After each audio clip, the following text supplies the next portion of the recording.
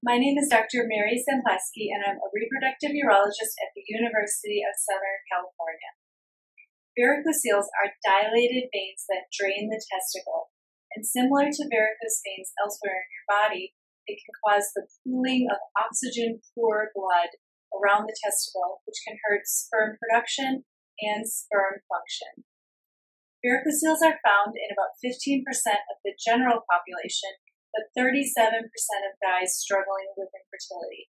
This is the most common anatomic abnormality seen in men struggling with fertility.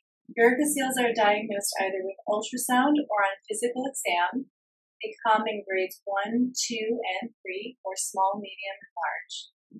These veins can hurt both sperm counts, motility, and morphology, and also sperm function. So they can affect natural pregnancy rates and success rates with intrauterine insemination and in vitro fertilization.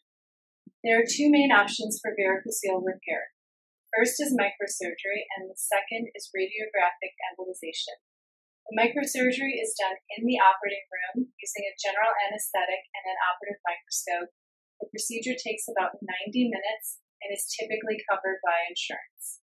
When we do the microsurgery, we identify the dilated veins and either tie these off or place titanium clips.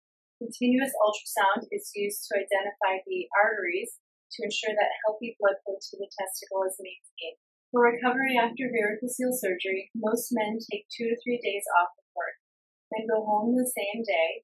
Most men describe an achy sensation in the testicle, which is generally controlled with ibuprofen alone. I advise guys for no heavy lifting for two to three weeks after the surgery.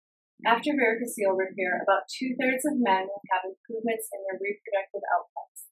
This can include both sperm counts and sperm motility, also sperm genetic health, miscarriage rates, and live birth rates. If you have questions about varicocele repair or male infertility, contact USC Urology. We offer telemedicine and face to face visits.